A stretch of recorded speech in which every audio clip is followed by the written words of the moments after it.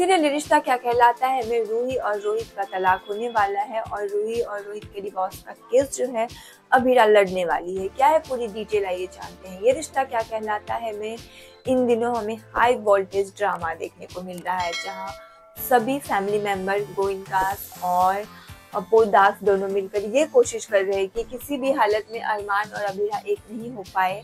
और अगर ये एक हो जाते हैं तो रूही का जो रास्ता है, अरमान के पास लौटने का वो रास्ता बंद हो जाएगा। तो ऐसे में रोहित जो है, ये सब चीज़ नोटिस करता है और एंड में रोहित काफ़ी तंग हो जाता है और रूही और रोहित का काफ़ी झगड़ा होने लगता है।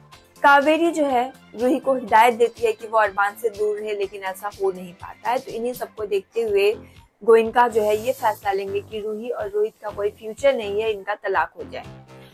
रूही के जो बेनानू है, यानी कि मनीष गोइन का, वो अभिरा के पास आते हैं रिक्वेस्ट करने के लिए कि वो रूही और रोहित का केस लड़े और इनका डिवोर्स जो है फ़ाइल करवाए डिवोर्स करवा दे।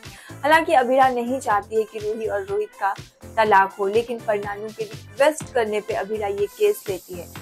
अब जब अभिरा ये केस ले रही है तो डेफिनेटली पोदास जो है अभिरा को गलत समझने वाले हैं। तो देखते हैं कि क्या रूही और रोहित के तलाक वाली ड्रामा के बीच में अरमान और अभिरा के बीच में कुछ दूरियाँ बनेगी या नहीं, ये देखना इंटरेस्टिंग होगा। लेकिन फ़िलहाल आप क्या कुछ कहना चाहते हैं इन सब पे? रूही और रोहित तलाक ले रहे हैं तो आपको क्या लगता है क्या उनका ये डिसीज़न सही है या गलत? कमेंट करें और भी अपडेट के लिए सब्सक्राइब करें गपशप तो।